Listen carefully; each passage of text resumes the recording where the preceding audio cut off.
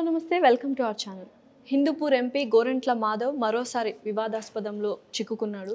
తన nude video call ఒక అమ్మాయికి చేసినట్లు ఆ వీడియో కాల్ లీక్ చేశారు కొంతమంది టీడీపీ వాళ్ళు అని కూడా ఆయన ఆరోపిస్తున్నారు. అసలు నిజానిజాలు ఏమిటి ఇందులో అనేది పూర్తిగా మనకు విశ్లేషించడానికి రాజకీయ విశ్లేషకుడు మనతో పాటు జకీర్ గారు ఉన్నారు. ఆయన అడిగి మరిన్ని విశేషాలు తెలుసుకుందాం. నమస్కారం జకీర్ గారు. నమస్తే సో ఏంటి ఈ వీడియో ఏంటి? అసలు చూడ్డానికే చాలా. అసలు ఏంటి ఈ వీడియో చూడ్డానికే చాలా. అశ్లీలంగా. ఇలాంటి వీడియోస్ అన్ని లీక్ చేయడం కరెక్ట్ అంటారా? లేకపోతే ఈయన అలా వీడియోస్ చేయడం రాంగ్ అంటారు? అసలు ఎవరిది తప్పు? ఏంటి? ఈ వీడియో మీద మీరు ఏమంటున్నారు అసలు? అంటే కొంతమందికి అంటే ఎటువంటి స్థాయి పదవుల్లో ఉన్నా కూడా వాళ్ళ వ్యక్తిగతమైన అలవాట్లు కొన్ని ఉంటే ఉండవచ్చు. సో కానీ అవి బహిర్గతం చేయడం బహిరంగం అయ్యే విధంగా. ఏదైనా జరగడం అనేది జరగకుండా చూసుకోవాలి. ఇప్పుడు కొంతమంది మామూలుగా కూడా మనం వింటూ ఉంటాం. ఇది వాళ్ళు రాత్రిపూట ఆడవాళ్ళు డ్రెస్సులు వేసుకుంటారని వింటూ ఉంటాం. ఆడవాళ్ళు చీరలు కట్టుకుంటూ ఉంటారని అంటుంటారు. కొంతమంది అంటే ప్రామినెంట్ పర్సనాలిటీస్ కూడా హార్మోనల్ చేంజెస్ కాదు. వాళ్ళు మామూలుగానే ఉంటారండి. అదే హార్మోన్ చేంజెస్ ట్రాన్స్జెండర్స్ గురించి నేను మాట్లాడలేదు. కొంతమంది ఏ స్థాయిలో ఎటువంటి హోదాలో ఎటువంటి పదవిలో ఉన్నా ఉన్నత ఉద్యోగంలో ఉన్నా కూడా వాళ్ళకు కొన్ని అటువంటి సరే విచ్చలు విడి అనండి లేదంటే వాళ్ళకంటే వాళ్ళకి సంబంధించిన మెంటల్ బ్యాలెన్స్ ఇష్యూస్ కావచ్చు ఏదైనా వాట్ ఎవర్ ఏదైనా కావచ్చు. కానీ కొంతమంది అట్లాంటి కొన్ని అలవాటు ఉంటే ఉండొచ్చు. బట్ ఇతను కూడా ఏంటంటే ఇతను పూర్తిగా అటువంటి నగ్నంగా ఉండే లాగా ఉన్న వీడియోని అది కూడా ఏంటంటే అది ఒక ఎవరికో మహిళకు కాల్ చేసినప్పుడు ఇప్పుడు అతను మొబైల్ మొబైల్ అతనిదే. వీడియో కాల్లో ఇతను ఉన్నాడు. మాతో ఎవరో మహిళ ఉంది. అయితే రికార్డ్ ఇతను చేసుకొని రికార్డ్ ఉండాలి. మరి ఆ రికార్డ్ చేసుకున్నది వేరే వాళ్ళకి ఎట్లా వచ్చిందనేది తెలియదు.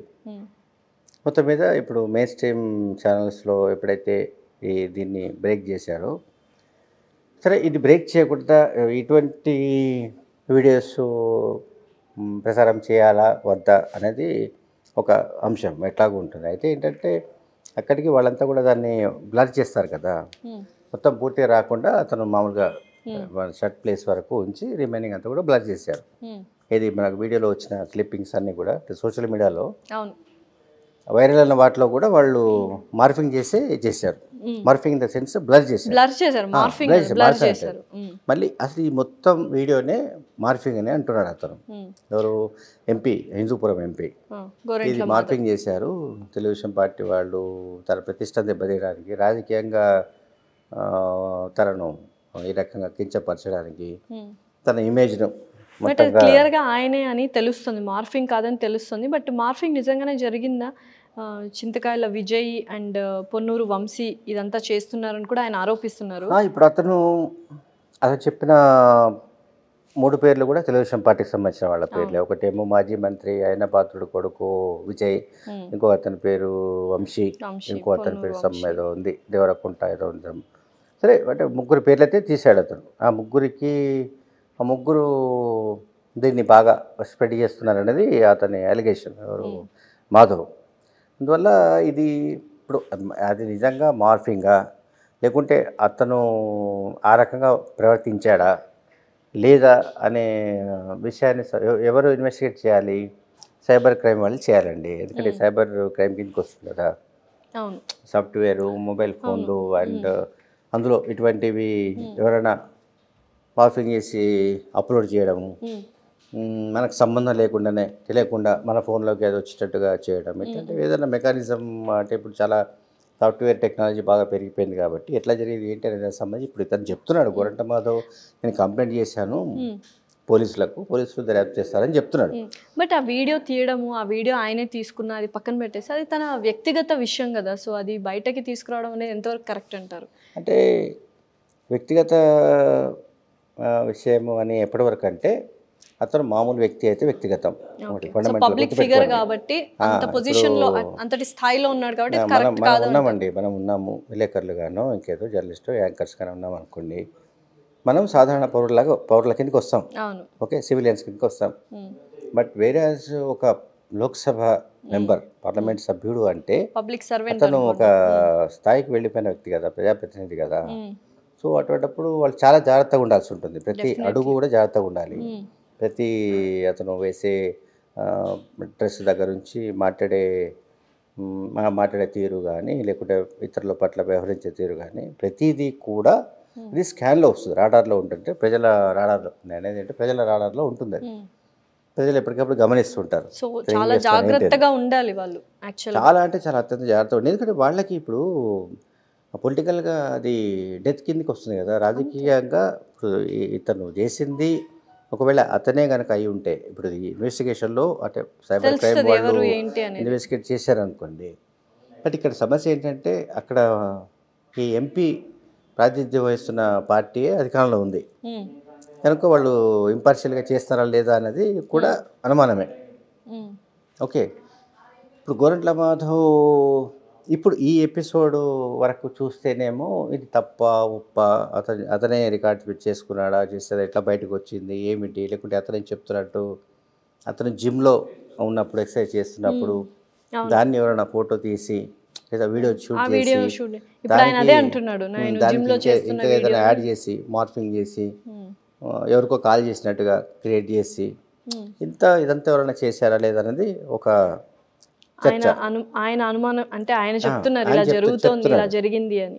కానీ గోరంట్ల మాధవ్ అనే వ్యక్తి అంటే ఇప్పుడు ఎంపీ వైసీపీ ఎంపీ ఆయన చరిత్ర కూడా అంటే పూర్వాశ్రమంలో సిఐ సర్కిల్ ఇన్స్పెక్టర్గా పనిచేశాడు పోలీస్ డిపార్ట్మెంట్లో. పోలీస్ డిపార్ట్మెంట్లో పనిచేసినప్పుడు కూడా చాలా అరాచకాలు చేశాడని ఒక రేప్కు కూడా పాల్పడ్డాడని అట్లాగే అకారణంగా చాలామందిని కొట్టాడని చాలా రకాలుగా ప్రజల్ని హింసించాడని ఇవి చాలా కంప్లైంట్స్ ఉన్నాయి అతనిపైన చాలా ఆరోపణలు ఉన్నాయి. బట్ ఎన్ని ఉన్నా కూడా చివరాఖరికి జగన్ ఎందుకు టికెట్ ఇచ్చాడంటే మీకు తెలుసు కాంగ్రెస్ పార్టీ సీనియర్ నాయకుడు ఇప్పుడు తెలుగుదేశం పార్టీలో ఉన్నాడు జేసీ దివాకర్ రెడ్డి. జేసీ దివాకర్ రెడ్డి పైన ఇతను మీసం వెలేసి తొడగొట్టాడు అనమాట జేసీ దివాకర్ రెడ్డిని ఛాలెంజ్ చేశాడు. మీకు అనంతపురం జిల్లా అంటే దివాకర్ రెడ్డి మైనస్ అనంతపురం పాలిటిక్స్ గురించి మాట్లాడడం కష్టం. సో దివాకర్ రెడ్డి అన్నిసార్లు అక్కడ నుంచి ఎమ్మెల్యే గెలిచాడు ఎంపీగా గెలిచాడు. చాలా most popular senior most senior most రాజకీయ నాయకుడు కదా. అటువంటిప్పుడు ఆయన ఎవరు జేసీ దివాకర్ రెడ్డి లాంటి వాడినే ఛాలెంజ్ చేశాడు. మిసాలు ఆ, తిప్పి తొడగొట్టి ఛాలెంజ్ చేశాడు కనుక ఇతన్ని జగన్ మరి హీరో అనుకున్నాడా? మరి వైసీపీ నాయకులు ఇతన్ని హీరో అనుకున్నారా? తెలియదు లేకుంటే అతనికి ఉన్న అంటే ఇప్పుడు వస్తున్నాయి అన్ని విషయాలు. ఏది ఇతనికి ఉన్న క్రైమ్ క్రిమినల్ బ్యాక్గ్రౌండ్ ఇతని నేర చరిత్ర అవి నేరాలా కావా అన్నది మళ్ళీ వేరే సబ్జెక్ట్ అది. ఇప్పుడు ఎప్పుడైనా సరే ఇప్పుడు ఆ- హిస్టరీ మనం ఏంటి వస్తున్న కథనాలను బట్టి చెప్తున్నాం. బట్ ఆ క్రైమ్కి అతను చే పాల్పడ్డా లేదా అన్నది అది మళ్ళీ ఇన్వెస్టిగేషన్ చేస్తే అవన్నీ తెలుస్తాయి. బట్ ఇన్వెస్టిగేషన్ చేసే పరిస్థితి ఎక్కడుంది? అతను ఎంపీగా ఉన్నాడు. అధికారంలో అధికార వాళ్ళ పార్టీ- ఉంది. కనుక పూర్వాశ్రమంలో ఇవన్నీ ఉన్నాయని కంప్లైంట్స్ ఆ తర్వాత అలిగేషన్స్ ఉన్నా కూడా టికెట్ ఇచ్చారు అంటే సో అట్లాంటి వాడు కావాలనుకున్నారేమో. అటువంటి ఒక రౌడీ షీటర్ లాంటి వాడు కావాలనుకున్నారేమో. ఇప్పుడు నోట్ల రద్దు తర్వాత మనం చాలామంది మన అందరూ కూడా చాలామందికి అనుభవం ఉంది కదా. ఇది మన ఏటీఎంల ముందు పెద్దగా లైన్ కట్టేవాళ్ళం కదా.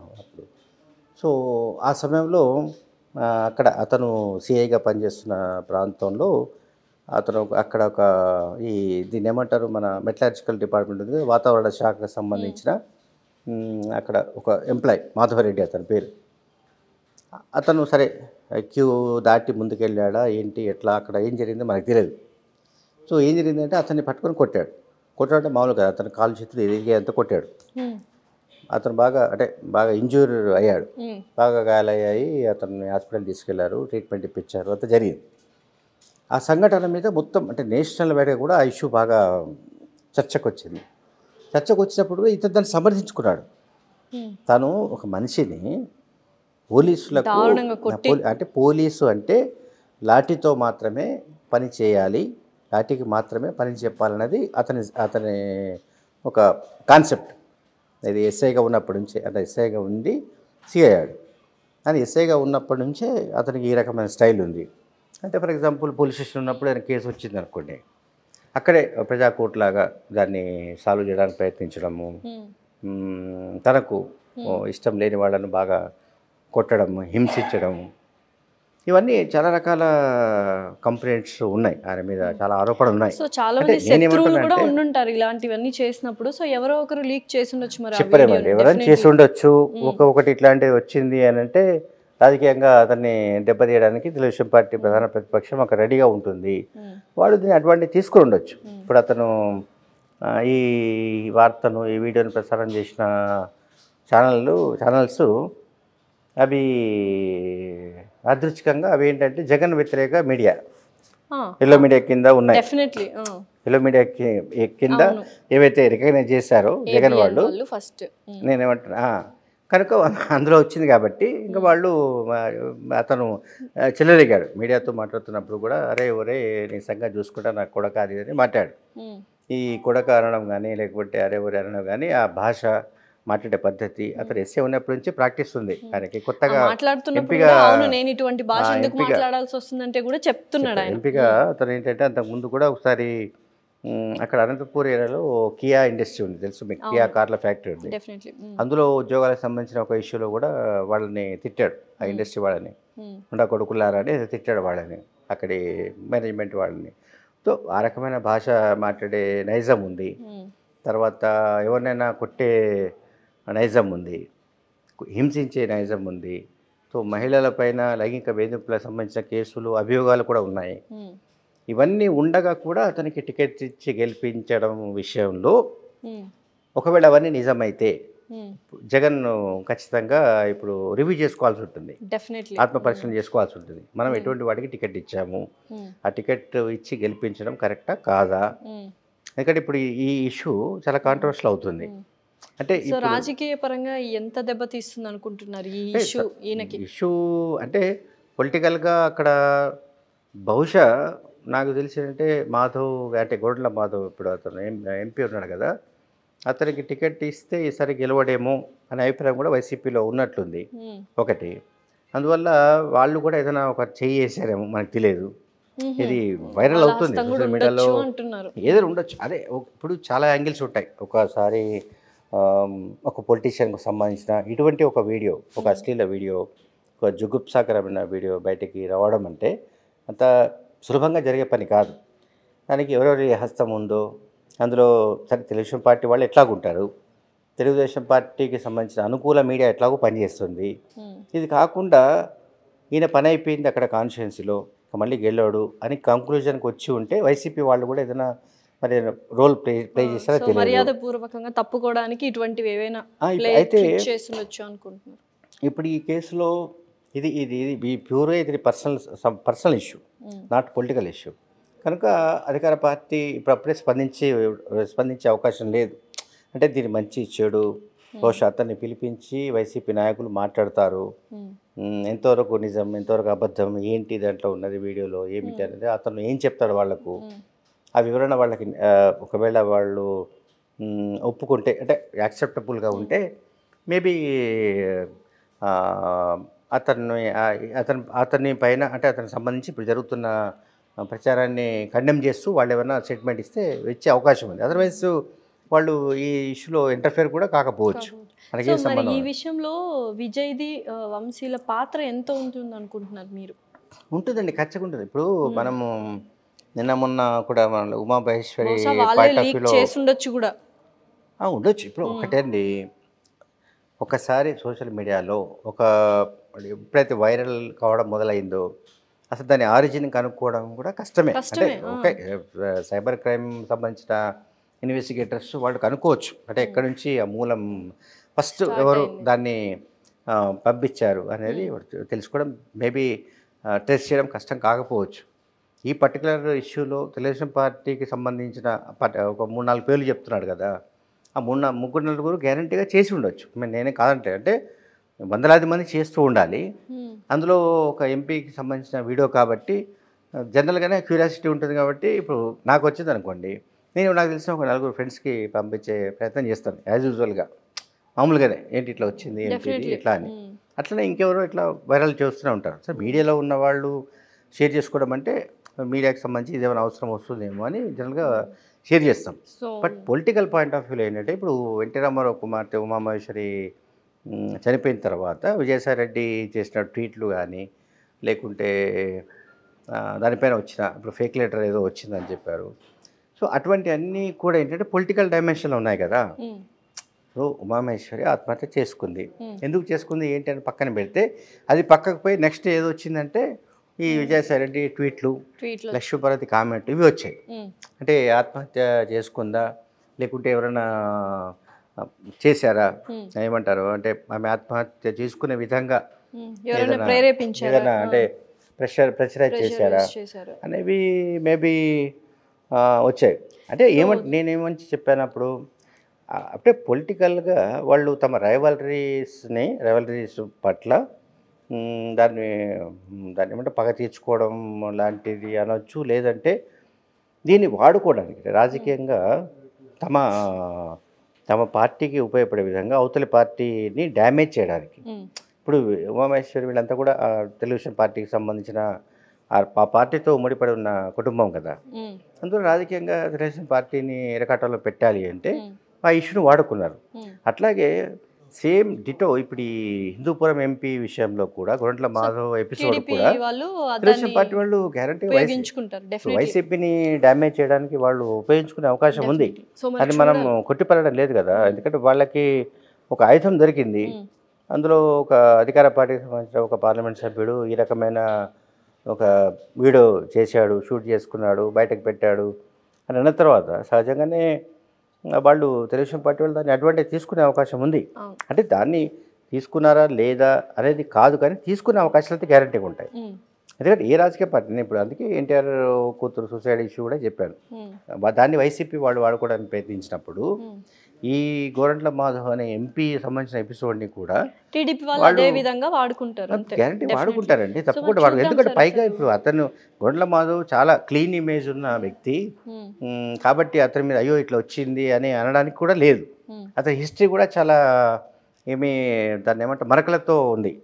హిస్టరీ అంతా కూడా చాలా మరకలు దాని మీద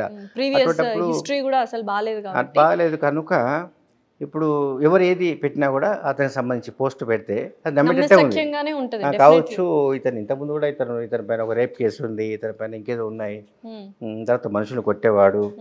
తర్వాత ఇంకోటి కూడా కోమ ఇతను గొర్రెల మాధవ్ ఒకసారి అత అతను క్యాస్ట్ ఏంటంటే కురవ సామాజిక వర్గం అండి. అనంతపురం జిల్లాలో కురవ సామాజిక వర్గం అంటారు. ఆ కురవ కులం జనరల్గా ఆ బెల్ట్లోనే కొంత ఉంది ఆ సెగ్మెంట్ ఆ ఏరియాలో సో అతను ఏంటంటే కురువలకు సంబంధించిన వనభోజనాలు అవి కూడా అరేంజ్ చేశాడు. ఇప్పుడు ఇది పార్లమెంట్ ఎలక్షన్స్ తర్వాత జరిగింది ఒక ఇన్సిడెంట్.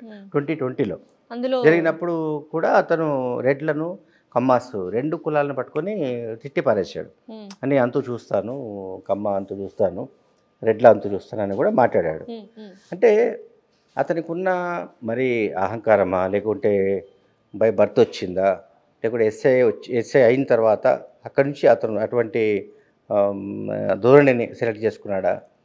ఎట్లా మాట్లాడాలి? ఏంటి అనే దానికి సంబంధించి అంటే కులాల్ని దూషించడం కానీ మనుషులు దూషించడం కానీ కొట్టడం కానీ హింసించడం కానీ ఇంకా ఇవన్నీ అది చాలా సందర్భాల్లో మానవ హక్కుల ఉల్లంఘన అంటాం దీన్ని.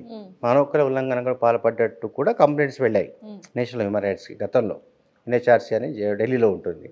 అందువల్ల ఏంటంటే ఇతనికి ఆల్రెడీ కొంత ఏమంటాం బ్యాడ్ హిస్టరీ. బ్యాడ్ రెప్యుటేషన్ మనకి బాగా లేదు కనుక డిపార్ట్మెంట్లో. అతనికి ఇప్పుడు ఎంపీగా నిలబెట్టి గెలిపించుకున్నాడు కనుక జగన్. ఇప్పుడు జగన్ జవాబు చెప్పాలి. అని కూడా డిమాండ్ చేయొచ్చు. రేపు పొద్దున తెలుగుదేశం పార్టీ వాళ్ళు. మనం కాదంటే కాదనం. మనము. అది కూడా మనం కాదడానికి లేదు. ఆ డిమాండ్ కూడా రావచ్చు. ఇప్పుడు ఇంకా రాలేదు. లేదు సార్ జగన్ ఏం చెప్తాడు ఇది ఇది ప్యూర్ పర్సనల్ మ్యాటర్ ఇది. పొలిటికల్గా అతను ఏమో కామెంట్ చేశాడు. ఎవరినో అన్నాడు ఎవరినో తెలుగుదేశం పార్టీ వాళ్ళు అన్నాడు అంటే దాని మీద పార్టీ రెస్పాండ్ అవుతుంది. అదర్వైజ్ ఇప్పుడు ఇతను ఇది ఇది ప్యూర్ వ్యక్తిగతమైన వీడియో ఇది. సరే ఇది మార్ఫింగ్ జరిగిందా లేదా అన్నది ఎక్స్పర్ట్స్ చెప్పాలి. ఈ సైబర్ క్రైమ్ సంబంధించిన ఎక్స్పర్ట్స్ మరి వాళ్ళ ఇన్వెస్టిగేషన్లో ఇష్యూస్ ఏమేమి బయటకు వస్తాయి? అవుట్కమ్ ఏముంటుందో మనకు తెలియదు. దాన్ని బట్టి మనకు తెలుస్తుంది. నిజమా కాదా అనేది. ఇప్పుడు సజ్జల రామకృష్ణారెడ్డి గారు చేసిన వ్యాఖ్యల్ని బట్టి ఒక వేట అయితే వేస్తారు. ఆయన మీద అని అయితే స్పష్టంగా తెలిసిపోతుంది. అండ్ ఇలాంటివి సహించేది లేదు. ఇటువంటి ఆకృత్యాలను సహించేది లేదు. నిజం నిరూపించినట్లయితే ఆయన మీద గట్టి చర్యలు తీసుకుంటాము అన్నట్టు చెప్తున్నారు. ఏమంటారు దీని గురించి? ఖచ్చితంగా ఇప్పుడు ఆంధ్రప్రదేశ్ ముఖ్యమంత్రి జగన్ అయితే ఇటువంటి విషయ ఇష్యూస్లో స్పేర్ చేసే రకం కాదు. ఆయన అవతల వ్యక్తి ఎటువంటి వాడు లేకుంటే అతని పొటెన్షియాలిటీ ఏంటి అతని మీద ఏమైనా చర్య తీసుకుంటే ఆ నియోజకవర్గంలో ఏం జరుగుతుంది ఏంటి అనేది లెక్క చేసే మనిషి కాదు. ఎందుకంటే జగన్ తనకు తాను ఒక బ్రాండ్ ఇమేజ్ ఉన్న వ్యక్తి. ఆ బ్రాండ్ ఇమేజ్తోనే ఆయన అధికారంలోకి వచ్చాడు. నూట యాభై ఒక్క సీట్లతో ఇవాళ పరిపాలిస్తున్నాడు. సో జగన్ పార్టీకి సంబంధించిన ఒక పార్లమెంటు సభ్యుడు ఇట్లాంటి ఒక జుగుప్సాకరమైన ఒక వీడియోని తయారు చేయడం చిత్రీకరించడం. అతను చేశాడా ఇంకెవరైనా చేశారా ఎప్పుడు జరిగింది ఏమిటనేది అది ఒక ఇన్వెస్టిగేషన్ సంబంధించిన డిఫరెంట్ పార్ట్ అది. బట్ ఇన్వెస్టిగేషన్లో అంటే ఇన్వెస్టిగేషన్ ప్రాసెస్ మొదలైనట్టుగానే మనకు కనిపిస్తుంది. అంటే అతనేం చెప్పాడు కదా గొండల మాధవే ఏం చెప్పాడు నేను పోలీసులకు కంప్లైంట్ చేశాను సైబర్ క్రైమ్స్కి వాళ్ళు ఇన్వెస్టిగేట్ చేస్తారని చెప్పాడు. వాళ్ళు ఇంపార్షియల్గా నిజా నిజాయితీగా చేస్తారని చెప్పాడు. అయితే ఆ పార్టీకి సంబంధించిన ఒక ముఖ్యమైన వ్యక్తి అండ్ తాడేపల్లిలో ముఖ్యమంత్రి అధికార నివాసానికి ఎప్పుడు కనెక్టింగ్గా ఉండే ప్రభుత్వ సలహాదారు అయిన సత్య రామకృష్ణారెడ్డి చెప్పాడు అంటే అది ముఖ్యమంత్రి జగన్ మాట కింద మనం అనుకోవాలండి. ఓకే. జగన్ చెప్పాల్సిన అవసరం లేదు. జగన్ నోటి నుంచి ఏమొస్తుంది? లేకుంటే జగన్ ఏం ఆలోచిస్తున్నాడు? జగన్ ఏం ఏం ఏం చేయబోతున్నాడు అనేది సజ్జల రామకృష్ణారెడ్డి చెప్తాడు. సజ్జ సజ్జల రామకృష్ణారెడ్డి జగన్ నోటీస్లో లేకుండా జగన్కు తెలియకుండా ఒక పార్లమెంట్ సభ్యుడి గురించి ఆయన ఈ రకంగా మాట్లాడే అవకాశం లేదు రూల్ అవుట్ కనుక ఆయన మాట్లాడేది ఏంటంటే ఎట్టి పరిస్థితుల్లో ఆయన పైన చర్యలు ఉంటాయి. In case it if it is it will it it may prove అది కనుక ప్రూవ్ అయితే ఖచ్చితంగా అతనిపైన చర్యలు ఉంటాయని అన్నాడు. సో ఎటువంటి చర్యలు ఉండొచ్చు అంటే మామూలుగా చర్యలు అంటే ఇప్పుడు ఆయన పార్లమెంట్ సభ్యునిగా ఉన్నాడు లోక్సభ సభ్యునిగా ఉన్నాడు కనుక జరిగేది ఏంటంటే ముందు పార్టీ నుంచి సస్పెండ్ చేస్తారండి. ఓకే. ఆ తర్వాత అతను ఏం చెప్పుకుంటాడు ఏంటనేది అది వేరే విషయం. బట్ ఆయన ఎంత ఆర్గ్యూ చేసినా కూడా అంటే తనను తాను ఈ ఇష్యూలో సమర్థించుకోవడానికి తన ఈ వీడియోకి సంబంధించి త- తన ఆర్గ్యుమెంట్ ఎట్లా పెట్టినా కూడా అది ఎందుకు నిలబడేటట్టు లేదని సజ్జరామకృష్ణ మాటలను బట్టి మనకు అర్థమవుతుంది. అంటే మహిళా పక్షపాతిగా ఈ ప్రభుత్వానికి ఒక పేరు ఉంది ఒక ఇమేజ్ ఉంది ఒక ప్రతిష్ట ఉంది. సో మా పార్టీ వాళ్ళే ఇట్లా ఇటువంటి ఉదంతాల్లో బయటకు రావడం పేర్లు రావడం ఈ రకంగా వీడియోలు రావడం అనేది ఇది సహించేది లేదు. సో తప్పకుండా వెయిట్ ఉంటుందని చెప్తున్నారు. సో వెయిట్ అంటే నేను చెప్తున్నాను కదా ఫస్ట్ ఎంపీ కనుక ముందు సస్పెన్షన్ వెయిట్ వేస్తారు అంటే సస్పెండ్ చేస్తారు. సస్పెండ్ తర్వాత అతను మామూలుగా పార్లమెంట్లో ఇండిపెండెంట్ ఎంపీగా అంటే అన్అటాచ్డ్ మెంబర్ అంటారు. ఏ పార్టీకి సంబంధం లేని వ్యక్తిగా కొనసాగుతాడు. అండ్ ఆ తర్వాత మేబీ ఇప్పటికే వైసీపీ వైసీపీలో ఉన్న వాళ్ళ వైసీపీకి సంబంధించిన ఏమంటాం వైసీపీ వర్గాల ద్వారా అందుతున్న సమాచారం ప్రకారం అయితే ఈ మాధవ్కు మళ్ళీ ఎలక్షన్స్లో ట్వంటీ ట్వంటీ ఫోర్లో ఎలక్షన్స్లో సీటు రాదు. అంటే టికెట్ పార్టీ ఇచ్చే అవకాశం లేదని చెప్తూనే ఉన్నారు. అంటే అక్కడ ఆల్రెడీ ఏదో మైనస్ ఉన్నాయి.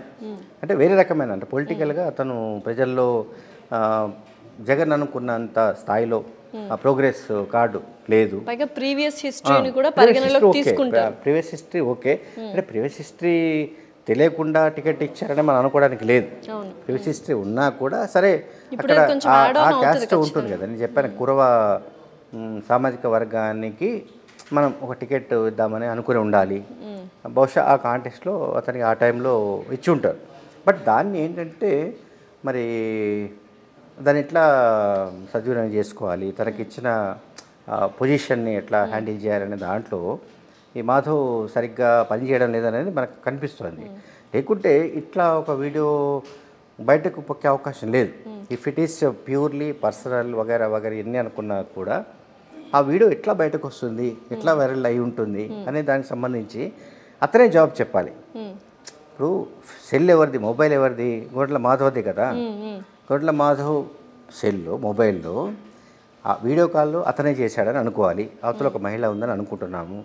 అటువంటప్పుడు అతను కంప్లీట్గా మొత్తం అంతా తన బట్టలన్నీ విప్పేసి ఇంకేదో రకరకాల వికృతమైన చేష్టలు చేస్తూ ఆ రకమైన వీడియో అనేది ఆ- రకమైన అసలు మానసికంగా కూడా ఇప్పుడు ఆయన ఆయన చెక్ చేయాల్సి చేయాల్సిన అవసరం కూడా ఉంది. సరే ఎంపీగా ఉన్నాడు కనుక మీరు అన్నట్టు ఏంటంటే ఎటువంటి వేటు పడుతుందంటే ముందైతే డిసిప్లినరీ యాక్షన్ కింద సస్పెన్షన్ అవుతారు.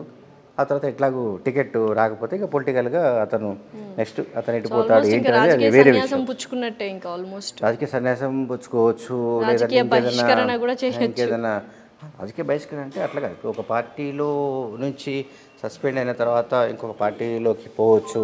ఇంకొక పార్టీ ఏముంది మరి అక్కడ మరి మరి వాళ్ళు అవతరాలు చూ ఆలోచించాలి కదా. ఇప్పుడు జనసేన పార్టీ ఆలోచించాలి లేకపోతే తెలుగుదేశం పార్టీ తీసుకోదు.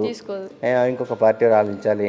ఇప్పుడు జగన్నే ఇప్పుడు మహిళా పక్షపాతి అని చెప్పుకుంటున్నప్పుడు అపోజిషన్ వాళ్ళు ఇంకెక్కువ చెప్పుకోవాలి కదా.